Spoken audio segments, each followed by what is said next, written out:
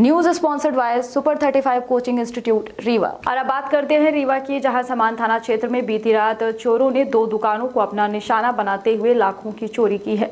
जानकारी के मुताबिक सैल प्रकाश सिंह, निवासी रविंद्र नगर के मिश्रा पेट्रोल पंप के सामने द फ्लोर एंड डेकोर नाम से दुकान संचालित है, जिसमें चोरों ने लगभग एक लाख रुपए के सामान के साथ ही पच्चीस हज़ार नकदी पार कर दिए।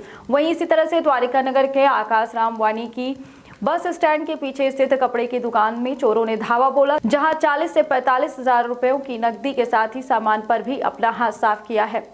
वहीं ये चोरी की घटनाएँ सीसीटीवी कैमरे में भी कैद हुई हैं। Bureau report Virat 24 news. ये ये आ गया। इसका तो फेस ही है पूरा साफ़ साफ़ यार। देखा तो पूरा साफ़ दिख रहा है। हाँ ये